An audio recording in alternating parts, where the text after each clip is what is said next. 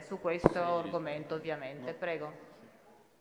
Sì, grazie Presidente. Noi invece non siamo favorevoli a questa richiesta di inversione, anzi avremmo proposto alla Capigruppo lo spostamento almeno domani mattina della discussione sulla riforma costituzionale con l'introduzione del tema dell'ambiente e la nostra proposta che avremmo formalizzato in Capigruppo è quella di fare domani il decreto trasporti, il voto immagino sulla fiducia già annunciata sul decreto trasporti e anche le dichiarazioni sulla terza lettura della riforma costituzionale che potrebbero trovare dire, tempo sufficiente anche domani mattina.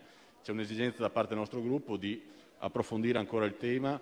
In terza lettura si tratta di una questione molto delicata e molto importante e quindi assolutamente contrari. Preferiremmo intanto discutere del cosiddetto decreto salvamare e poi lasciare alla Capigruppo decidere su questioni così delicate senza usare la forza dei muscoli dei numeri in quest'Aula per modificare diciamo, a piacimento della maggioranza anche queste questioni che sono state dibattute a lungo nella Capigruppo e che non possono essere modificate dire, all'ultimo minuto su decisione di un pezzo della, del, dire, del, del Senato. Quindi, siccome abbiamo sempre avuto noi un atteggiamento responsabile rispetto alla forza preponderante della maggioranza, chiediamo che queste decisioni non vengano così comunicate all'unica forza di opposizione all'ultimo momento, perché non è modo di procedere. Non è modo di procedere, non è né cortese né rispettoso del ruolo dell'opposizione, che da sola deve fronteggiare con 20 senatori tutti gli argomenti che vengono dalla maggioranza posti all'attenzione,